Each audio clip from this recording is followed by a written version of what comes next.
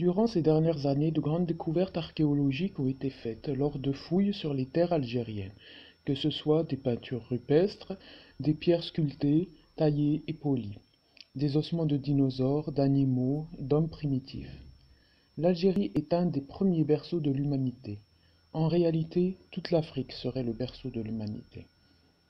Aujourd'hui, nous allons parler des découvertes archéologiques faites en Algérie qui nous montrent encore l'incroyable richesse de son patrimoine historique et tellement d'autres trésors qui ne demandent qu'à être dévoilés. Bouchrit à La préhistoire de l'Algérie commence il y a environ 2,4 millions d'années avec les premières traces humaines. On sait que les plus anciens ossements humains ont été découverts en Afrique de l'Est, plus précisément en Éthiopie il y a environ 2,8 millions d'années. En 2018, une équipe d'archéologues dirigée par Mohamed Sahnouni ont découvert sur le site de Haïn Bouchrit à Sétif des outils en pierre taillée. Par cette découverte, des fouilles seront ouvertes. Le site sera sécurisé par le ministre de la Culture, Azdin Mihoubi. Dans ce site, les outils en pierre taillée qui ont été découverts datent d'environ 2,4 millions d'années, ce qui en fait le plus ancien site paléolithique connu en Afrique du Nord. Ces outils, en calcaire et en silex, ressemblent exactement aux outils Oldowan découverts en Afrique de l'Est il y a 2,6 millions d'années. Ils servaient à dépecer et à découper la viande des animaux qu'ils chassaient. Des ossements d'animaux ont été également découverts non loin de ces outils. Ces animaux seraient de type savane africaine, buffles, éléphants, crocodiles, hippopotames ou encore girafes. La découverte la plus impressionnante fut celle d'un crâne de stégodon, ancêtre de l'éléphant, orné d'incroyables défenses de près de deux mètres, et vieux de trois millions d'années. La présence de cette espèce disparue depuis longtemps n'a jamais été signalée dans cette partie de l'Afrique du Nord. D'après sa dentition, cet éléphant serait relativement jeune.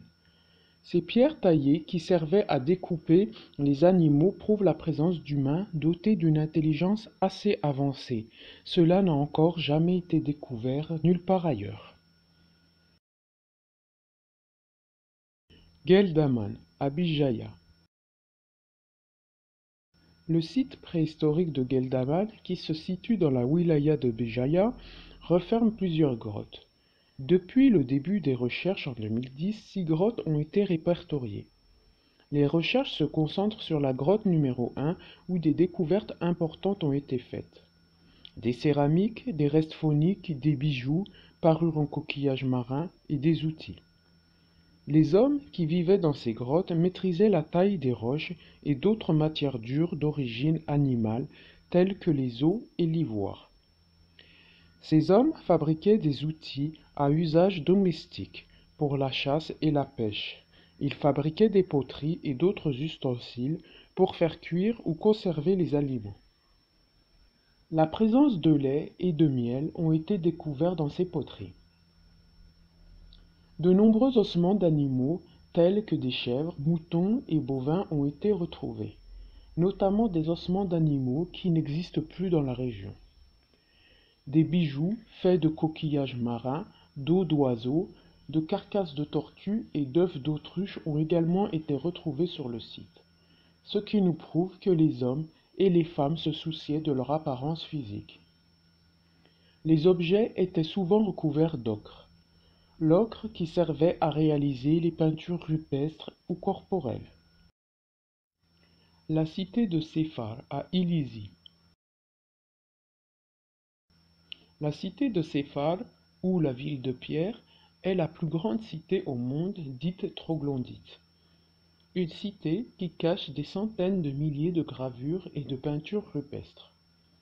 La cité de Séphar est inscrite au patrimoine mondial de l'humanité depuis 1982. Des peintures qui datent de 12 000 ans avant nos jours, qui ont été découvertes dans les années 1950 par Henri Lotte, un explorateur français.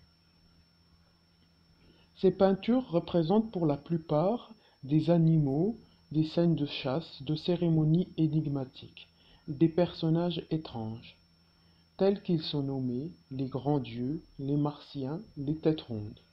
On y retrouve également des restes de poterie ou de pierres taillées. Les peintures qui représenteraient les martiens seraient, selon la majorité des scientifiques, des costumes et des masques de rituels. Tirnif à En 1950, à Tirnif, à Madagascar, des ossements d'un homme qui ont plus de 500 000 ans ont été découverts, avec de nombreux outils déjà connus dans plusieurs parties du pays. En 1954, trois mandibules ainsi que les dents d'hommes primitifs ont été retrouvées à Tirnif. Cet homme, dont le nom est Atlanthropus mauritanicus, une branche de l'Homo erectus. Ce site était déjà connu en 1875 lors d'une exploitation de carrière, où des ossements fossiles et des pierres taillées avaient été découverts. Une première campagne de fouilles en 1886, puis en 1931 puis de 1954 à 56. Ces fouilles ont permis de délivrer plus de 1000 pièces d'imposants matériel osseux et des restes humains. À la fin du XIXe siècle, d'autres découvertes d'outils semblables à ceux de Tirnif sont découverts dans l'ensemble de l'Algérie du nord au sud. Bir el-Hatar, à Tébessa. À Bir el-Hatar se trouve le site archéologique qui a donné son nom à l'Atarien. L'Atarien qui est l'industrie lithique préhistorique, c'est-à-dire des pierres taillées utilisées par des humains pour différentes choses, chasse, pêche, découpe d'animaux, etc. Le site atarien le plus ancien se trouve au Maroc, à Ifri Namar. Le site archéologique de Bir el Atar est daté d'environ moins 40 000 à moins 30 000 ans. En 1910, un gisement apparaît, des outils en pierre taillée, des ossements calcinés et des coquilles d'escargots. Tafesra, Azeil, à Tlemcen.